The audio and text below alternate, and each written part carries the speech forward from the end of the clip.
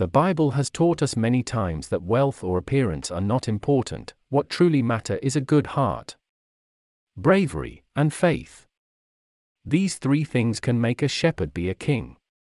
And that actually happened to David. David's father had ten children, and David was the youngest and the smallest. At the time when the war achievements determined the significance of a man, nobody expected David to achieve great things. The boy used to herd and tend to his father's sheep, he also played the instrument called lyre, which is similar to a harp. Yet God chose David to be the future king. And David proved he is worthy of that honor. At that time, Israelites, David's nation, were at war with dangerous Philistines.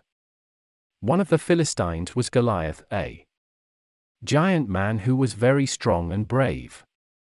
He laughed at the cowardice of Israelites. He promised that if one of the Israelites defeated him, then all the Philistines would leave them in peace. When David heard it, he volunteered. The soldiers did not believe in his victory, but David was brave and he trusted in God. He did not even wear an armor or take a sword because they were too heavy for him. So he faced Goliath armed only with a slingshot and he managed to defeat the giant with a single shot and in this way he finished the war. David became the king's favorite. He was a brave soldier who after combat wonderfully played his lyre. He also wrote beautiful psalms that we can read in the Bible now or sing them in a church. When the old king died, David took his place. He was a wise king, loved by his people. His story teaches us that more important than a weapon is the faith in God who is always supporting good people. David has three attributes with him, they are objects he is presented with most often. A slingshot is a weapon with which David fought against a giant warrior.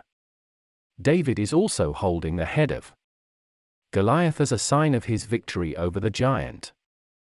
Because music was very important for David, he is presented with his favorite instrument, a lyre.